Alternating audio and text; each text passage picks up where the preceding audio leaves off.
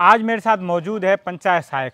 इनकी लंबित मांग है, लंबे समय से ये मांग कर रहे हैं कि इनकी जो मांग है वो प्रदेश सरकार पूरी करे नियमितीकरण की। तो आज मेरे साथ मौजूद हैं, इनसे जानते हैं क्या क्या इनकी मांगे हैं। पहले तो आप बताइए, कितनी बड़ी संख्या में पूरे प्रदेश में पंचायत सहायक है और क्या क्या मांग है आपकी? सर, मीडिया के माध्यम से मैं कहना चाहता हूँ कि हम सत्ताईस हज़ार लोग हैं, जो हर पंचायत में चार चार हैं, कई तीन तीन हैं, जो चौदह साल से शोषित हैं।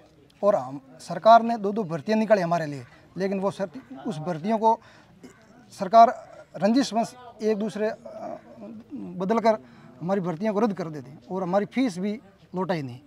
और इसीलिए हम मानसिक रूप से चौदह साल से पीड़ित हैं और सबसे अगर शोषित तबका है तो वो राजस्थान का पंचायत सहायक है क्योंकि भर्तियाँ निकालती हैं और सरकारी भर्तियों को रद्द करती है।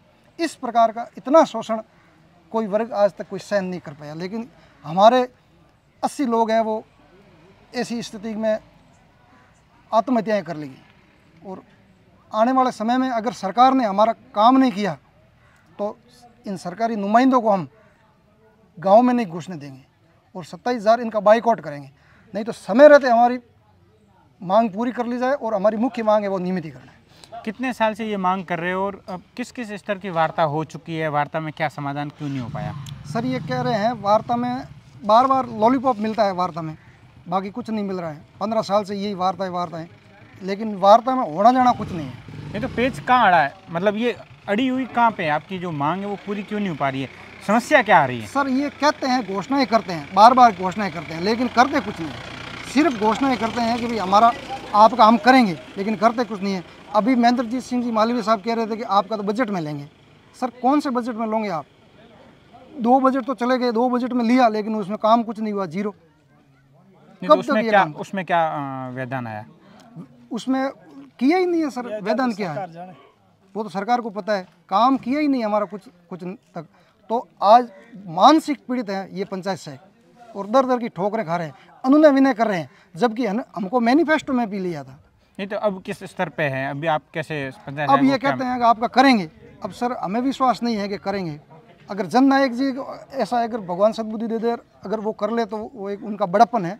लेकिन अब हम पूरे सभी लोग हैं वो बहुत नर्वस कंडीशन में हैं जो किसी प्रकार की सोचने की कंडीशन में नहीं है। नहीं तो पंचायत सहायक अभी क्या कर रहे हैं? अभी उनके पास क्या काम दिया गया है? सर पंचायत का पूरा काम करते हैं और स्कूल में जिस प्रकार एक अस्सी हज़ार का टीचर काम करता है वो का वो पीरियड लेना और एमडीएम का और पूरा पूरा स्कूल का भी काम करते हैं। कई लोग हमारे बीएलओ भी है और पंचायत में तो पूरा पूरा काम अभी पंचायत सहायकों को कितनी सैलरी मिलती है और कौन देता है? सिर्फ़ सात हज़ार नौ सौ रुपये मिलते हैं।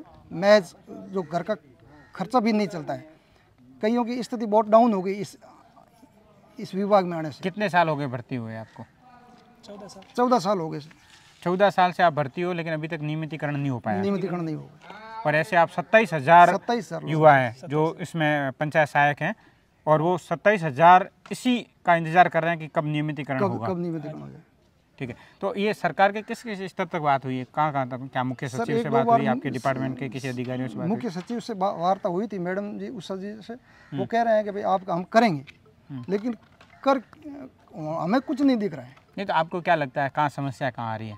क्या सरकार अटका रही है या कोई और अ, समस्या है? क्या है? मुझको तो सरकार की मंशा पर संदेह है। पिछले चौदह साल से यही कह रहे हैं कि हम आपका करेंगे आपका करेंगे। भर्तियाँ पिछली सरकार ने भी यही किया था और अभी वर्तमान सरकार भी यही कर रही है। अपने जालोर की बात करें जालोर में कितनी बड़ी संख्या में होगी? ग्यारह सौ लोग हैं सर।